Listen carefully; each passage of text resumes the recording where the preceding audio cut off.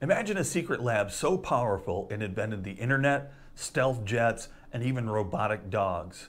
Welcome to DARPA, the Pentagon's mad science lab. DARPA was born in 1958, right after the Soviet Union shocked the world by launching Sputnik.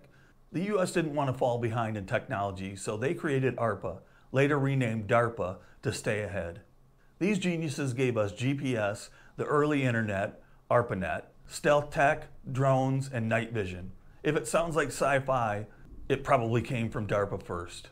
From battlefield armor to brain implants, DARPA dreams up the future so America doesn't get surprised again. They fail a lot, but when they succeed, it changes everything.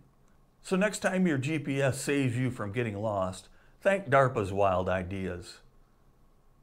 I'm Dave Newton. Follow me for more military history. Turns out Al Gore didn't invent the internet. Who knew? Besides me.